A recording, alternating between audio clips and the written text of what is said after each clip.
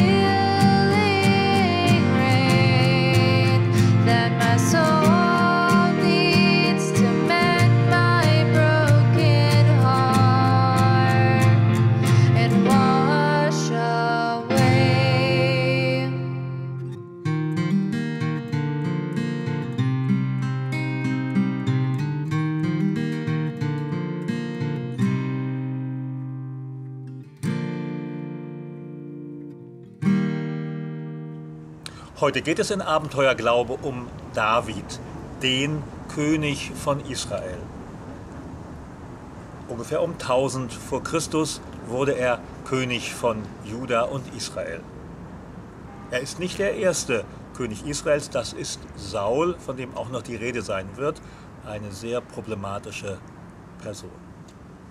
Aber heute König David. Der Prophet Samuel bekommt von Gott den Auftrag, einen der Söhne Isais zum König zu salben.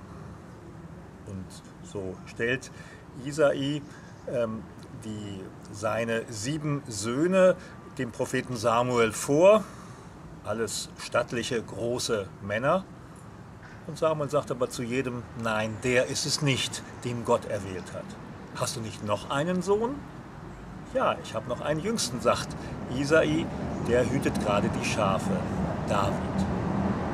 Und er holt David und dann wird David von Samuel gesalbt zum König von Israel.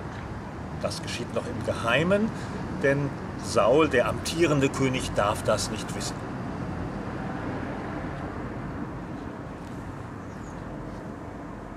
Israel ist damals im Kampf mit anderen Stämmen, darunter den Philistern.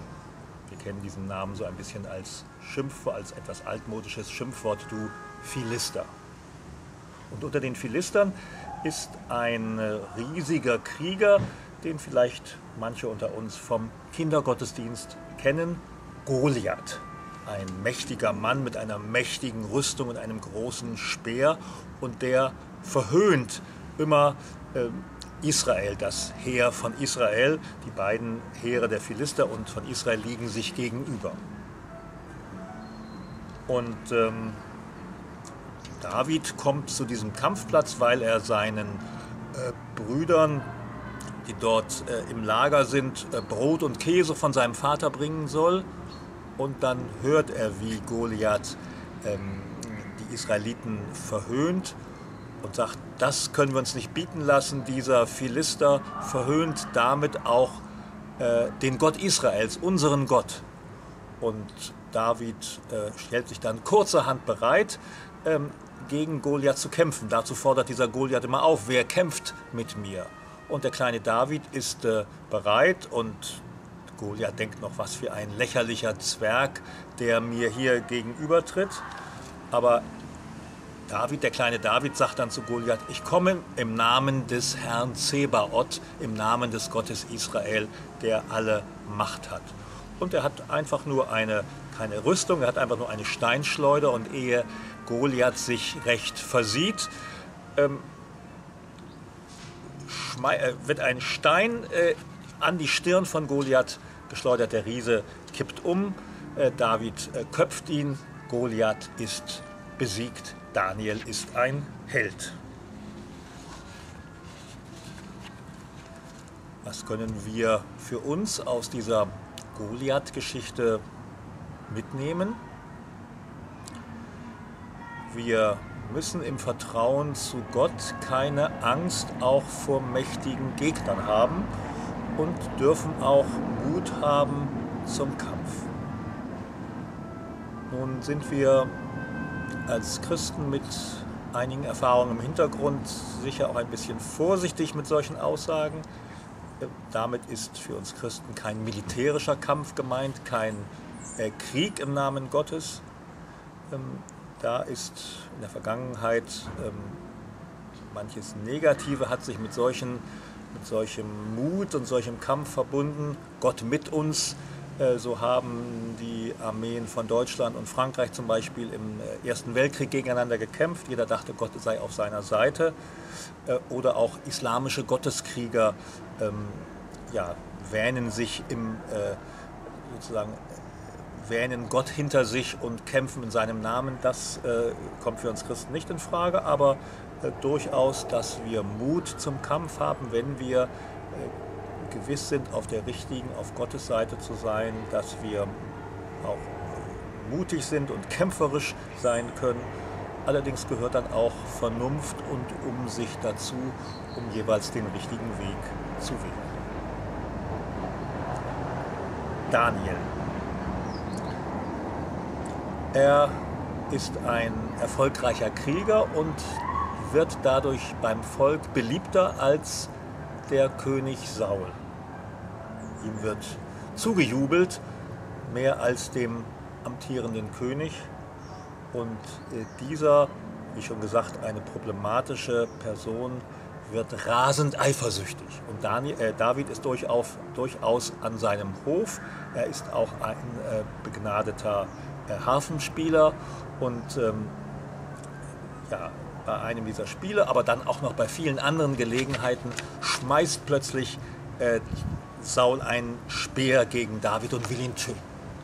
Aber Gott beschützt David nicht nur dieses eine Mal, sondern immer wieder, wenn Saul in seiner rasenden Eifersucht diesen erfolgreicheren, beliebteren David zu töten versucht. Einmal verfolgen äh, Saul und seine Soldaten David und ihre und seine Leute, die jetzt so als Art ähm, Freischärler ähm, agieren. Und äh, David befindet sich gerade in einer Höhle mit seinen Leuten und dann kommt Zufall, der Fügung als Zufall, kommt dann Saul mit seinen Soldaten in diese Höhle und ja, es ein, wäre ein leichtes für David, jetzt Saul zu töten. Aber mit äh, seinem Schwert haut er nur ein Stück seines Mantels ab und ruft ihm dann später zu, ich hätte dich töten können, Saul, aber ich bin nicht dein Feind, du bist doch der König. Also David hat Respekt vor dem König, hat vor allem Respekt vor Gott, der trotz aller Problematik diesen König Saul eingesetzt hat und hat ihn nicht getötet, als er, als Saul in seiner Hand war, Saul, der ihn oft hat versucht zu töten. David handelt so im Vertrauen auf Gott, der, wie es in einem Psalm heißt, seine Sache zu einem guten Ende führt. Also nicht er, David, muss sich immer weiter schützen, sondern Gott bringt die Sache, seine Sache zu einem guten Ende. Und für uns Christen gibt es dazu einen guten Spruch aus dem Römerbrief, Römer 12. Paulus sagt da, wenn euch jemand Unrecht tut, dann zahlt es niemals mit gleicher Münze heim. Lass dich nicht vom Bösen besiegen, sondern überwinde es durch das Gute.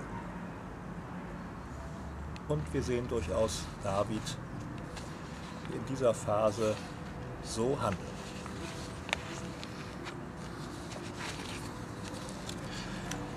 David wird dann um 1000 vor Christus König von Juda und dann auch friedlich König von ganz Israel, also von den anderen elf Stämmen Jakobs.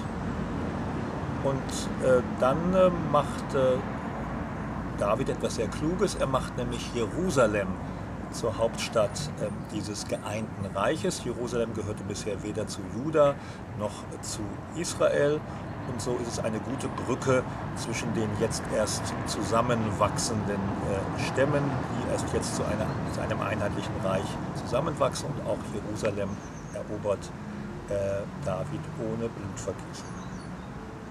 Und dann holt er die, lässt er die Bundeslade nach Jerusalem holen, die Bundeslade, in der die zehn Gebote enthalten sind, die Gott einst Mose äh, gegeben hat am Berg Sinai.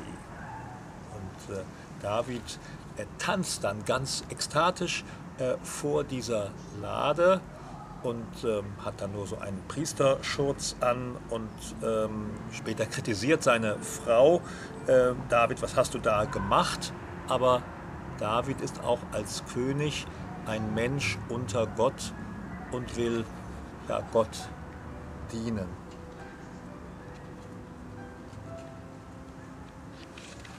In dieser Bundeslade mit den zehn Geboten ist gewissermaßen äh, Gott gegenwärtig, aber zugleich ähm, behält sich Gott auch immer seine Freiheit vor. Also der Mensch hat ihn auch mit dieser Bundeslade sozusagen nicht in der Hand. David hat da den Impuls, Gott ein Haus zu bauen, also die Bundeslade nicht nur in einem Zelt stehen zu lassen, sondern einen Tempel für Gott zu bauen. Aber äh, Gott sagt dann dem Propheten Nathan, erst Davids Sohn Salomo soll ihm einen Tempel bauen und vielmehr will Gott David ein Haus bauen, nämlich ein Königshaus. Ein Königshaus, das immer Bestand haben wird. Also hier wird das sozusagen umgedreht, nicht David tut etwas für Gott, sondern Gott tut etwas für David. Ein ewiges Königreich äh, will er äh, installieren. Auch hier in dieser ganzen Geschichte merkt man ein gewisses Zögern, ähm, ja Gott und sein Haus oder Gott und das Königtum in seinem Namen jetzt sozusagen vollständig zu identifizieren. Gott bleibt immer der Freie, äh, der ja, seine Gegenwart selber bestimmt.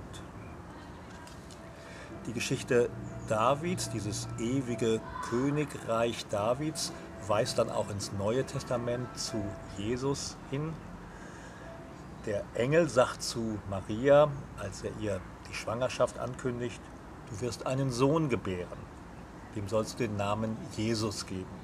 Gott der Herr wird ihn auf den Thron seines Vorfahren David erheben. Seine Herrschaft wird nie zu Ende gehen. Also das Königtum von David, damals von Gott eingesetzt, führt am Ende zu Jesus und erst dort, in dem Messias, in dem wahren Gott und wahren Menschen, wird sich dieses Königtum Davids endgültig erfüllen. Jesus ist dann der wahre König. Bis jetzt haben wir äh, David auf eine sehr positive Weise erlebt. David ist der strahlende Held, auch als er verfolgt wird, ähm, schlägt er nicht zurück, tötet er nicht und dann ist er ein König aus Gottes Gnade, der ja Gott treu ist, der vor der Lade tanzt und der sozusagen ein König ganz nach Gottes Geschmack ist. Das bleibt aber, wie ähm, das zweite Samuel-Buch berichtet, das bleibt nicht so. Es ist gerade eine militärische Auseinandersetzung von ähm, ja, diesem neuen Reich mit anderen Nachbarvölkern. Und ähm, es ist dabei schon ungewöhnlich, dass David äh, nicht selber an diesen Kämpfen teilnimmt, wie er das sonst getan hat, sondern sozusagen zu Hause weilt, während seine Soldaten für ihn kämpfen. Und dann entdeckt er von seinem Königspalast aus eine Frau, Bathseba, eine schöne Frau, die, äh, die er gerade beim Baden sieht. Und er begehrt sie und äh, lässt fragen, wann er das ist und hört dann, das ist die Frau von Uriah, einem Soldaten. Er lässt sie zu sich holen, er schläft mit ihr und äh, sie wird dann auch schwanger von Nun ähm, will David äh, diesen Sündenfall vertuschen. Uriah, der ähm, ja, sozusagen ähm, Urlaub hat vom, äh, vom Heeresdienst, äh, der soll jetzt mit seiner Frau äh, schlafen, äh, damit sozusagen verdeckt wird, dass dieses Kind nicht von ihm, sondern von David ist. Aber Uriah, übrigens kein Israelit, aber der hält sich ganz streng an die vom König selbst äh, gegebenen Regeln, nämlich im Krieg kein Geschlechtsverkehr. Und so wird dieser Plan von David vereitelt, äh, ja, seinen Ehebruch zu vertuschen. Und was macht David stattdessen? Er sagt seinem Befehlshaber, stell Uriah mal in die vorderste Reihe. Er soll mal im Kampf fallen. Und genau das geschieht auch. Uriah stirbt. Der Weg für David ist jetzt frei. Bathseba auch offiziell zu seiner Frau zu machen. Und das tut er in königlicher Machtherrlichkeit. Aber am Ende dieser Geschichte heißt es, Gott missfiel, was David tat. Und dann kommt der Prophet Nathan zu David und erzählt ihm eine Geschichte. Eine Geschichte von einem Reichen und einem Armen, einem Reichen, der viele Schafe hat, einem Reichen, der nur ein Schaf hat und das äh, ja wie seine eigene Tochter ähm, behandelt. Der Reiche bekommt Besuch, will für diesen Besuch ein Schaf schlachten. Eines von seinen Schafen ist ihm aber zu schade. Er greift sich das Schaf des Armen, das einzige Schaf, schlachtet es und setzt es seinem Gast vor. David hört dieses Gleichnis, diese Geschichte, die ja erfunden ist, und ähm, sagt, äh, der Mann ist des Todes, der äh, das getan hat. Er ist ganz zornig über diesen Rechtsbruch. Und Nathan sagt dann zu David, du bist der Mann. Du bist der, der Sünde begangen hat, Ehebruch und Uriah zu Tode gebracht hast. Und David sieht das plötzlich ein und sagt, ja, ich habe den Tod verdient. Und dann ist im Psalm 51 ein Gebet von David überliefert. Sei mir gnädig, Gott, nach deiner Güte, wasche mich rein von meiner Schuld. Und tatsächlich wird David selber vergeben. Er wird nicht sterben. Er bleibt König aber unheilvolle Folgen seiner Sünde bleiben. Zum einen in Bezug auf diesen Sohn, den er mit Bathseba gezeugt hat. Der Sohn wird sterben. Und zum anderen wird großes Unheil über das Königshaus kommen. Das werden wir noch sehen den gesegneten, mit den friedlichen Zeiten im Königshaus Davids ist es jetzt vorbei. Wenn wir das für uns bedenken, David ist das Urbild des erwählten Menschen. Das Urbild des erwählten Menschen, dessen Sünde von Gott vergeben wird. Das können wir gerade auch von uns Christen sagen. Wir sind von Gott erwählt und unsere Sünde wird uns durch Jesus vergeben. Aber David ist zugleich das Urbild des Sünders, der die Folgen seiner Sünde zu tragen hat. Also Gott vergibt ihm zwar, aber er mutet ihm zu, ja, Konsequenzen aus seinem sündhaften Tun zu tragen.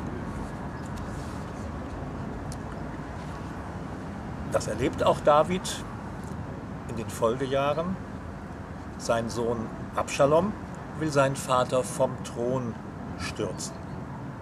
Er macht sich beliebt beim Volk, dieser Abschalom, und lässt sich dann in Hebron, wo ursprünglich mal David auch König von Juda wurde, lässt sich dort, lässt sich Abschalom zum König ausrufen. Das ist die schwerste Krise in Davids Königsherrschaft.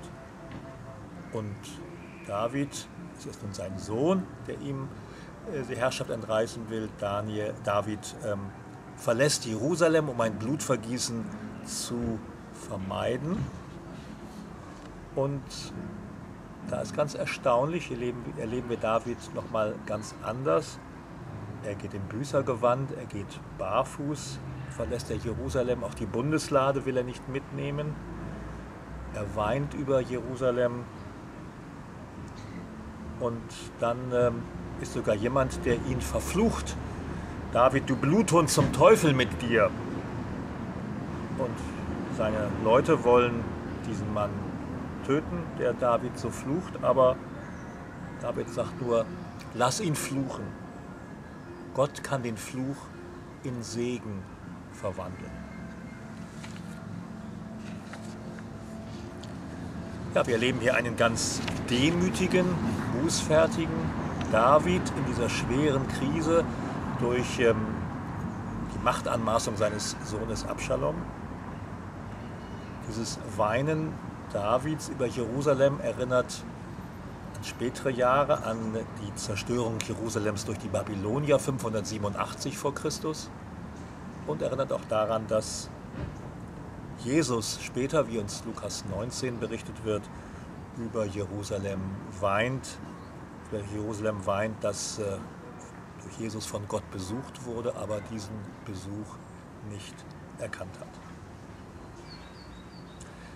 Es wird dann schließlich Abschaloms Heer besiegt, allerdings auch Abschalom selber dabei getötet und ja, David ist dann ganz furchtbar traurig über den Tod seines Sohnes.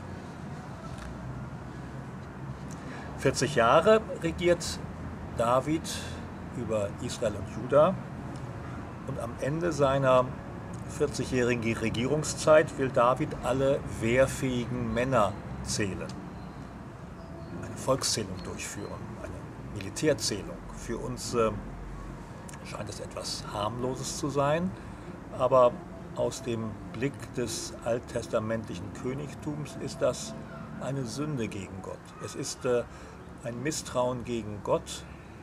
David vertraut nicht darauf, dass Gott ihn im Kampf beisteht und ihn zum Sieg verhilft, sondern Gott will äh, David will sozusagen seine ähm, prüfen, was er an ähm, Menschenmaterial hat und was er damit, wie er damit äh, siegen kann, wie er damit äh, Kämpfe bestehen kann.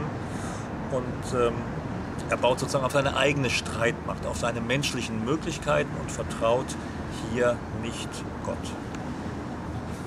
Noch einmal eine schwere Krise zum Ende seiner Regierungszeit. David erkennt dabei seine Schuld und bittet wieder Gott um Vergebung. Damit wird dann ein Unglück angekündigt und das tritt auch ein. Die Pest bricht aus und viele Menschen sterben. Vielleicht an dieser Stelle eine kurze Bemerkung. Uns erscheint das aus der heutigen individualistischen Sicht ja sehr brutal. David macht etwas falsch und andere Menschen sterben, hier an der Pest oder äh, sein Sohn stirbt, ähm, der erste Sohn von Bathseba. Ähm, das Denken damals ist ein ganz anderes. Der König handelt für das ganze Volk und die Sünde des Königs hat auch äh, Fluss auf Folgen für das ganze Volk. Die Pest bricht also aus, viele Menschen sterben, 70.000. Nach einem Gebet, flehenden Gebet von David stoppt Gott aber dieses Sterben.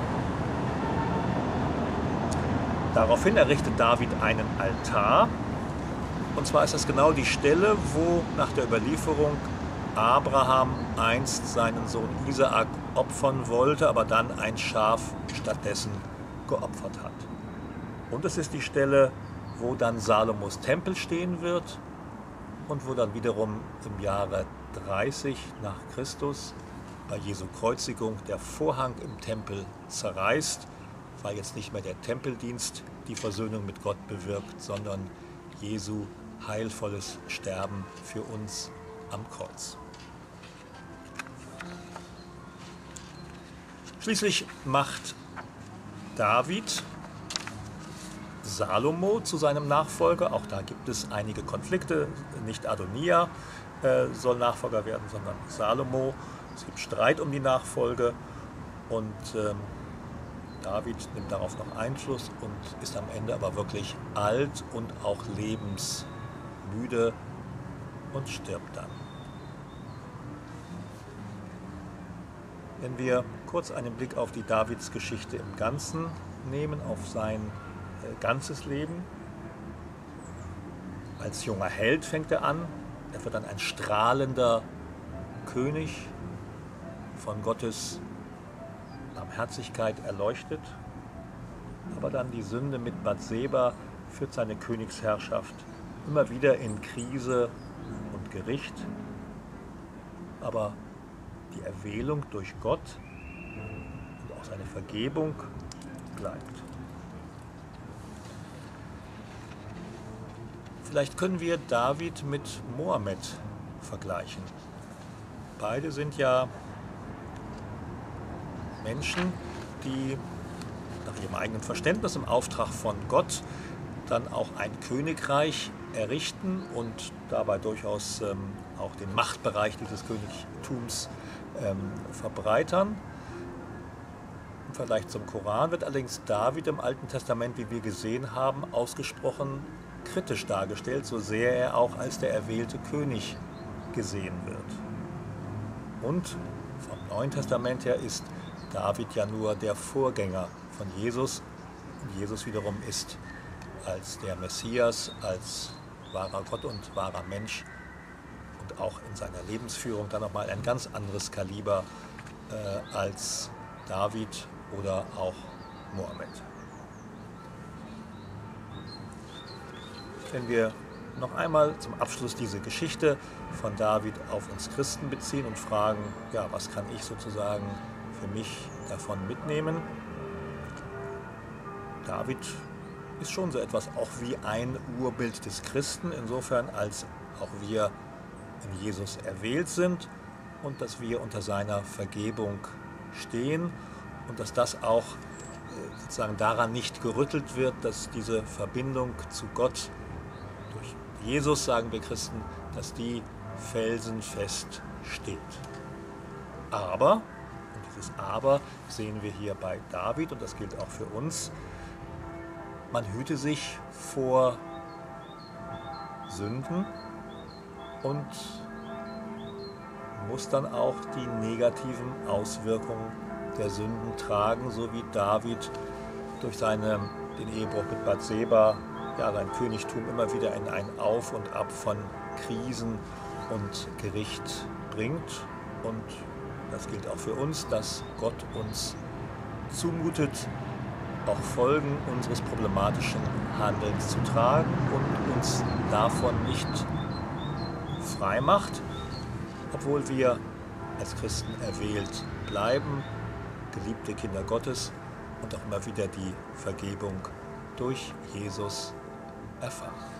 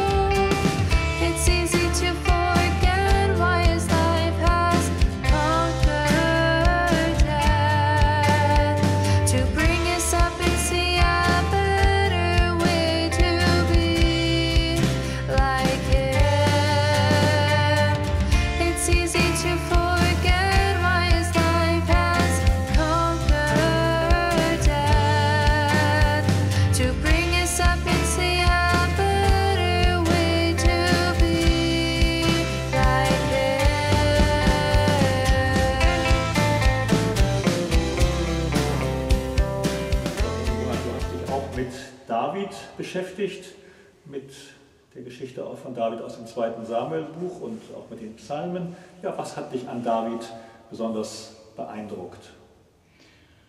David war immer demütig. Er hatte nicht diesen Stolz wie zum Beispiel Saul. Ähm, in vielen Szenen in diesen beiden Samuel-Büchern, in der Geschichte Davids, zeigte er immer wieder, dass er einfach sagt, das ist Gott, der ist mächtig, der ist allmächtig und hier bin ich, ich kleiner. Und wenn irgendwas mit mir ist, dann sage ich es ihm. Er weiß es schon und ich muss mich nicht vor ihm verstecken. Ich kann ihm vertrauen. Ich weiß, dass ich ihm gehöre und er kann, hat die Macht über mich. Immer wieder merkt man, dass David ist Gott demütig. Er unterwirft sich ihm und er vertraut ihm völlig. Das hat mich beeindruckt in dieser Geschichte.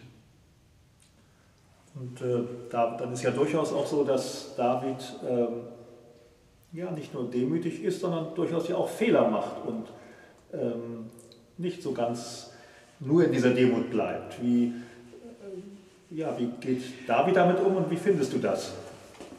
Interessant ist an der Stelle, äh, dass er David zunächst nicht ähm, erkennt, seine Schuld unmittelbar erkennt. Erst als Nathan ihm das vor Augen hält, sagt er ja, hm, ich habe Schuld. Und er, er, er, diskutiert nicht. David diskutiert nicht. Er sieht seine Schuld ein und gibt sie unmittelbar zu. Das ist für mich vorbildlich, da nicht zu diskutieren, auch in der heutigen Zeit, wo immer wieder gesagt wird, ja, das liegt da und daran und da und da und da und da. Nein, David sagt ganz klar, ich war's, ich bin schuldig, wasche mich rein, gib mir ein neues Herz, sei mit mir weiterhin. Und David spürt das auch. Gott spürt, dass David es ernst meint. Es ist so, dass sogar in diesen Psalmen, sieben Bußpsalmen sind, fünf über diese Buße. David war einfach getroffen, als er es gemerkt hat und er hat es sofort gesagt und hat es zugegeben und er hat es nicht versteckt. Das hat mich beeindruckt. Mhm. Und dann gibt es ja auch Geschichten, wo Daniel, wo David, äh, wo David ähm, äh, ja, in sehr schwere Situationen gerät. Das war vor allem in der Anfangszeit, als ähm, er unter Sauls Angriffen gelitten hat oder auch später, als sein Sohn Absalom äh, ihn ähm, ja, von der Macht verdrängen wollte. Äh, ich denke, das hat, das hat dich auch äh, beeindruckt, wie David damit umgegangen ist, mit solchen belastenden Situationen? Da sind zwei Sachen, äh, die mich da beeindruckt haben. Äh, zunächst einmal wenn die Situation auch noch so schwer war. David hat zwar geklagt, aber auf der anderen Seite hat er immer wieder gesagt, ich schaffe das mit Gottes Hilfe. Gott hilft mir, Gott steht mir zur Seite und selbst in, diese, in der Höhle, selbst äh, in der Wüste, überall, er wurde gejagt, er wurde dreimal von, von Saul mit einem Speer äh, beworfen, aber er glaubte daran, äh, dass Gott ihm hilft und dass er durchkommt. Er hatte bedingungsloses Vertrauen in Gott. Welch ein Glaube, welch ein, ein Abenteuer für ihn, immer wieder diesen Glauben zu haben und dann auch bestätigt zu werden in diesem Vertrauen.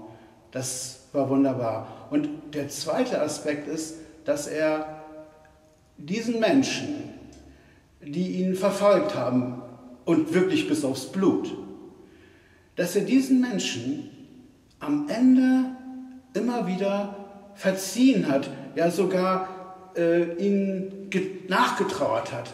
Diese Trauer, die er für Saul hatte, als Saul im Kriege getötet wurde. Diese Trauer für seinen ersten Sohn, Absalom, als er getötet wurde. Diese Trauer war höher als die Trauer für seine Ritter, für seine Krieger, für seine Soldaten, die gefallen sind dort, sodass sogar diese gesagt haben, dein Feind Absalom äh, steht höher als, als äh, diese Soldaten Und er sagt, ja, ich trauere um Absalom.